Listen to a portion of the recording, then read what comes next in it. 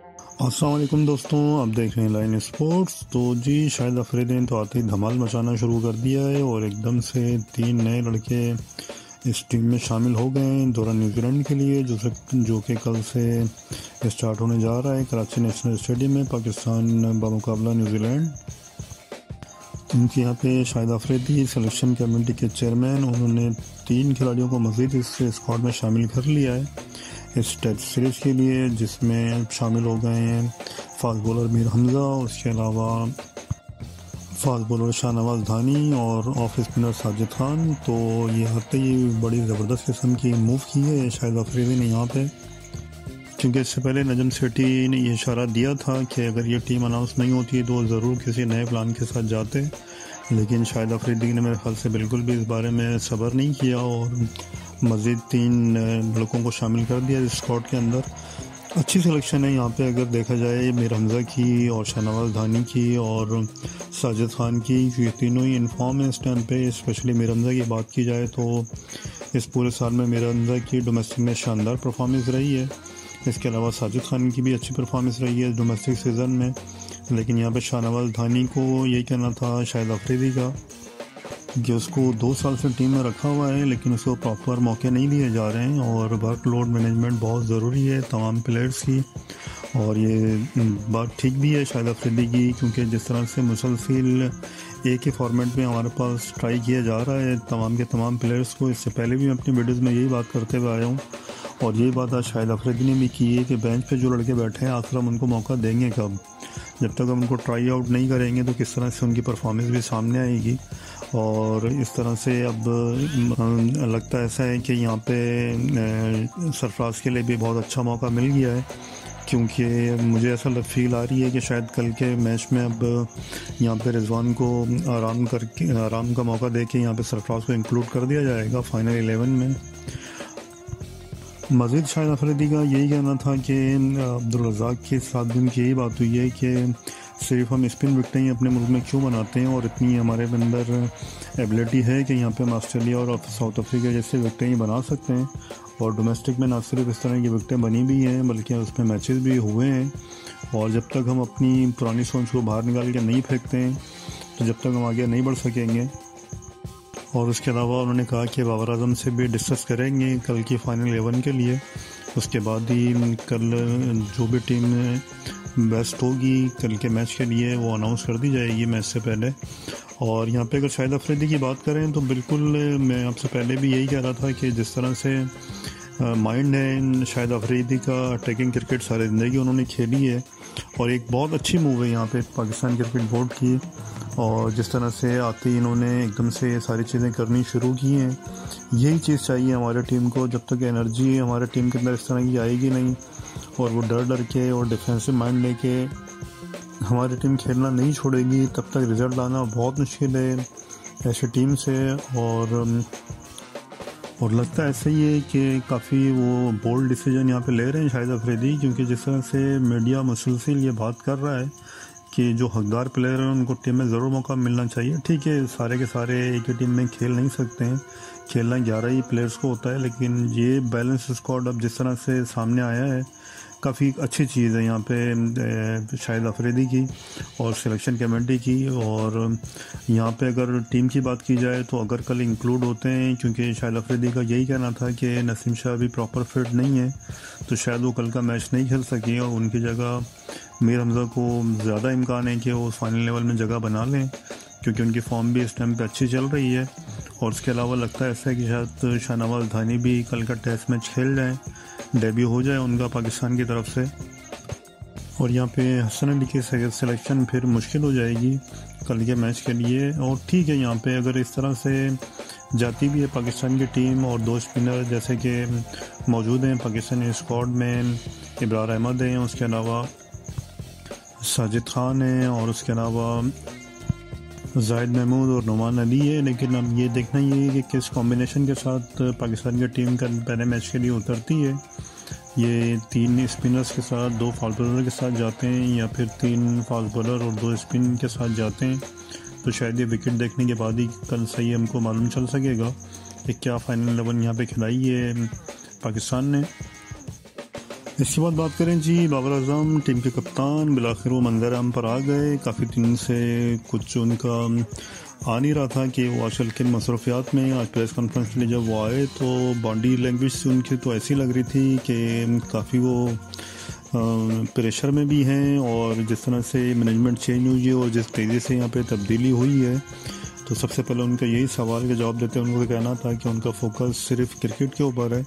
ये तब्दीलियाँ चलती रहती हैं टीम के अंदर और इसका इम्पैक्ट कोशिश उनकी पूरी होगी कि ना आए टीम के ऊपर और अच्छे परफॉर्मेंस वो देने की भरपूर कोशिश करेंगे। काफ़ी कुछ गलतियों से उन्होंने सीखा भी है। दौरा इंग्लैंड का जो वाइट पाश का सामना करना पड़ा पाकिस्तान को। इसके अलावा टीम सिलेक्शन के हवाले से भी उनका यही कहना था कि जी, उनकी बिल्कुल बात हुई है शायद अफरीदी के साथ और नई सिलेक्शन कमेटी के साथ और जो बेस्ट इलेवन होगी, कोशिश होगी कल के मैच में उतारा जाए। और इसके अलावा मजीद उनका यही कहना था कि उनके ऊपर कोई प्रेशर नहीं है, जिस तरह के भी रूमर्स चल रहे हैं मीडिया में कि कप्तानी की वजह से शायद वो डिस्टर्ब है तो ऐसी कोई बात नहीं है। और यहाँ पे अल्लाह ताला ने उनको यहाँ तक पहुँचाया है और वो बिलीव करते हैं खाली अपने परफॉर्मेंस पे। और रह गई बात आज उनकी प्रेस कॉन्फ्रेंस की, बाबर आज़म की तो एक तरह से देखा जाए तो आज सात लफ्ज़ों में उन्होंने कह दिया है कि जो भी सिलेक्शन हुई थी, दौरा इंग्लैंड जो हुआ है यहाँ पे टेस्ट सीरीज़ पाकिस्तान के अंदर तो वो सब की ज़िम्मेदारी वो ख़ुद कबूल करते हैं और जो भी सिलेक्शन हुई उनकी अपनी मर्ज़ी शामिल थी और उनके अपने फैसले थे। बाकी रह गई बात की किस खिलाड़ी को होना चाहिए था, किस खिलाड़ी को नहीं होना चाहिए था। उसमें बुनियादी वजह यही है कि ये रिज़ल्ट उनके हक़ में नहीं आए। तो इस वजह से बहुत ज़्यादा उनके ऊपर बात भी हो रही है और ऐसा कुछ नहीं है।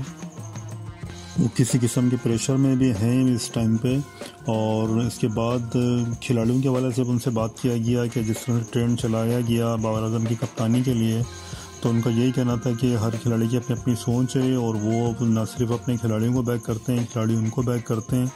और इस टीम की सबसे अच्छी बात यही है कि सब एक दूसरे को बैक करते हैं। बिल्कुल ठीक है बाबर अजम की बात कि जिस तरह से पाकिस्तान बहुत क्लोज आ भी गया इस सीरीज़ के अंदर, लेकिन रिज़ल्ट उस तरह से नहीं मिल सके।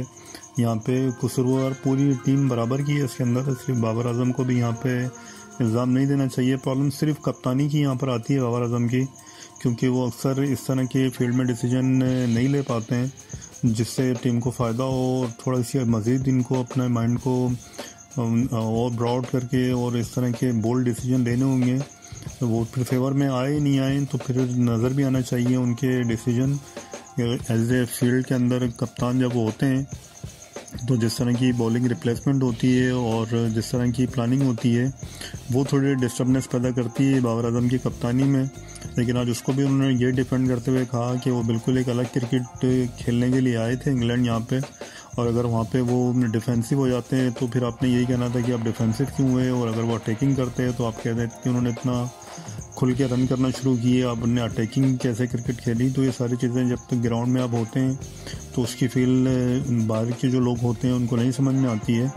उम्मीद है जी, यहाँ पे अब बाबर आज़म ज़रूर सबक हासिल करेंगे, ये बहुत बड़ी शिकस्त है और एक शिकस्त हो गई, ठीक है पास्ट हो गई वो चीज़। और यहाँ से अगर हमारी टीम अच्छा करने में कामयाब होती है जिस तरह की नई मैनेजमेंट आई है नई सोच आई है ज़रूर इसका इम्पैक्ट आएगा भी टीम के ऊपर। और एक अच्छी पाकिस्तान को रास्ते पे सभी कोशिश कर रहे हैं ले जाने की तो इन वो कामयाब हो भी जाएँगे। और इसके बाद आखिर में बात करें जी इंडिया का मुकाबला बांग्लादेश तो फाइनली इंडिया आखिरकार ये मैच जीतने में कामयाब हुआ और इस तरह से दो ज़ीरो से सीरीज़ को जीत के वाइट वॉश कर दिया। यहाँ पे इंडिया ने बांग्लादेश की सीरीज़ को। और उस हंड्रेड रन का सिर्फ़ आज बाकी बचे थे इंडिया को बनाने के लिए। कल इंडिया के सिर्फ़ पैंतालीस रन पे चार खिलाड़ी आउट हो चुके थे और सिर्फ़ छः विकटें बाकी थी यहाँ पे इंडिया की।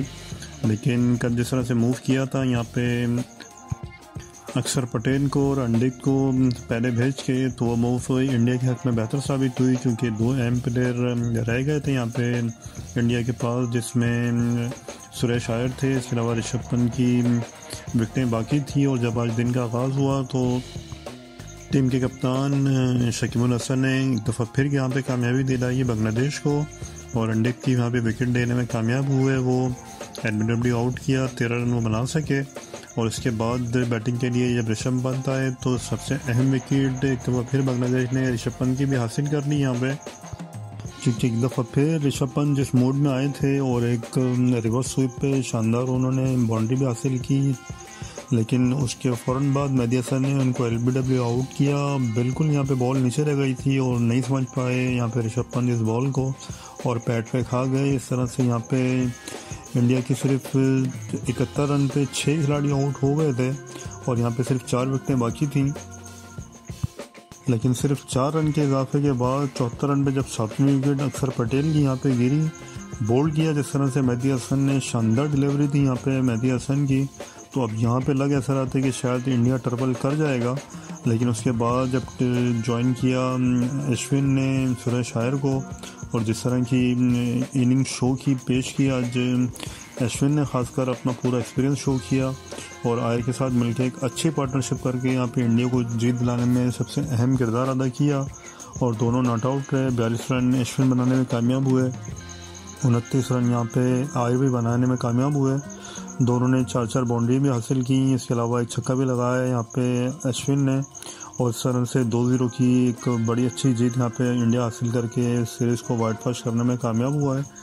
बस बदकिस्मत रहे यहाँ पे बांग्लादेश की टीम, क्योंकि जैसे मैंने अपने पहले वीडियो में भी कहा था कि अगर तो यहाँ पे ढाई सौ तक का या 300 का टारगेट देने में कामयाब हो जाता बांग्लादेश इंडिया को तो ज़रूर बहुत अच्छा रिज़ल्ट यहाँ पे निकल सकता था बांग्लादेश के फेवर में।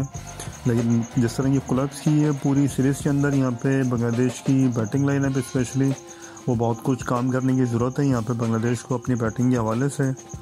लेकिन यहाँ एक अश्विन को चांस भी मिला जब इंडिया का स्कोर 119 पे पहुँचा तो खालिद अहमद की बॉल पे लटन दास एक मुश्किल कैच वो ज़रूर था। अगर वो लेने में यहाँ पे कामयाब हो जाते तो यकीनन ये बहुत बड़ी कामयाबी मिल सकती थी यहाँ पे बांग्लादेश को, लेकिन अनलकी रहे। खालिद यहाँ पे बॉलर उनके जिस पे उनको विकेट हासिल नहीं हो सकी अश्विन की। लेकिन यहाँ तारीफ़ करनी पड़ेगी। बांग्लादेश के बॉलर्स की, जो जिस तरह से लो टोटल को डिफेंड किया है, खाली बस यहाँ पे शकीबुल हसन और मेहदी हसन विकटें लेने में कामयाब हुए और बाकी कोई तीसरा बॉलर विकेट यहाँ पे नहीं ले सका। तो यहाँ पे बॉलिंग काफ़ी अच्छी रही। इस सीरीज़ में भी थ्रू आउट बांग्लादेश की, लेकिन बैटिंग की बहुत ज़्यादा प्रॉब्लम नज़र आई यहाँ पे बांग्लादेश की पूरी सीरीज़ में और काफ़ी कुछ काम करने की ज़रूरत है यहाँ पे बांग्लादेश को। देखते हैं आने वाले सीरीज़ के लिए किस तरह की परफॉर्मेंस आती है बांग्लादेश की। चलें जी, आज की वीडियो में इतना ही था। उम्मीद है आपको ये आज की वीडियो पसंद आई होगी। प्लीज़ चैनल को लाइक कीजिए शेयर कीजिए सब्सक्राइब कीजिए और बेल आइकॉन ज़रूर प्रेस कीजिए।